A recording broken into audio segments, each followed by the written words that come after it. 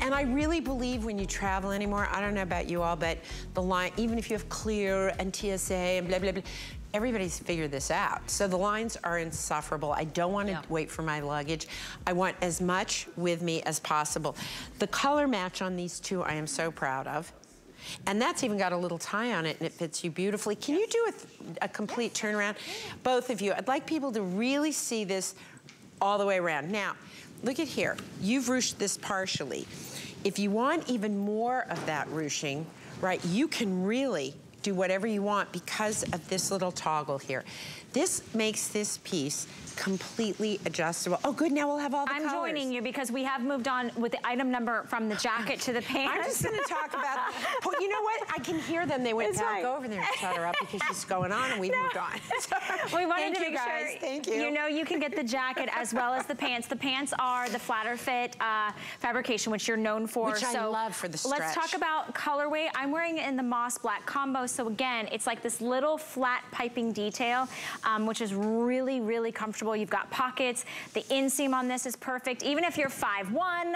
Um, so I've got the mass black combo. Sonia has the khaki combo, and Sonia's wearing it in the four correct? Right. Okay. And then you, do you know what I'm size? I'm in a 12. You're in the 12. And, and you've got I, sneakers on. I, I do love that. Right. I so just, cute. I have to be honest. I love sneakers.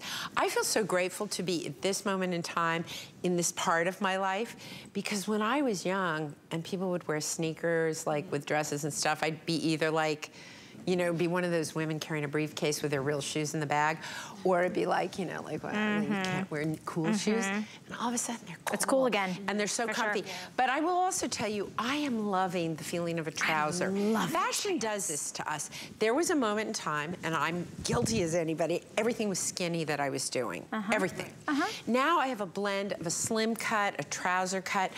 I love this cut because it's so easy for me. The flatter fit gives you five to seven inches of stretch and recovery. They don't bag out, they wash beautifully, they hold their color, and they, they are comfortable, mm -hmm. they are mm-hmm. lightweight. They're predominantly viscose and they just hold up, hold up. And this little piece here is really yep. fun because it's not it's um, not sewn flat down. again. No, yeah. it's got it's a little like a little flange, I think we call it. and I think it's just so cool.